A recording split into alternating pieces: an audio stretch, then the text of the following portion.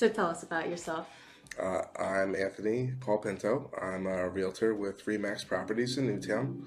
I sell mostly Bucks County, Montgomery County, Philadelphia.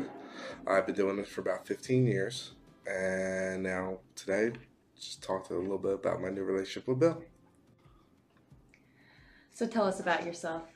Uh, well, my name is William, or as Anthony calls me, Bill Miller. Uh, I've been in the mortgage business for about 20 years, and uh, we work out of Pennsylvania, New Jersey, and Delaware. And our office is in Philadelphia, but I work primarily in Montgomery County out of King of Prussia. What were you looking for in a new lender? Well, I wasn't even looking for a new lender. Um, you know, most people have their certain lenders, um, but I just broke up with the lender, and uh, you know, it's just fate. You know, it just happened. What was wrong with your last relationships? Uh, just wasn't feeling the love. Um, you know, a little bit of abuse, to be honest with you. Um, you know, I got to tell you, one time I was asked for a, a pre-approval for a customer I didn't even know their name of at my own birthday party that the realtor was invited to. What was wrong in your last relationship? Um, well, we just butted heads as much. Uh, you know, uh, stuff wasn't getting done.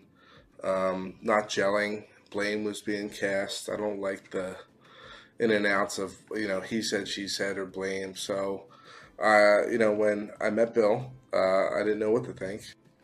What's so special about who you found? Oh man, where do I start? Um, well, I, I could just say that, you know, kind of like peanut butter and jelly, just certain things are just supposed to go together. And what I found with Anthony is just, I think we're just supposed to go together. And we have primary goals and focuses, and I'm just really optimistic on where things could possibly go here. What does the future look like with you and Bill?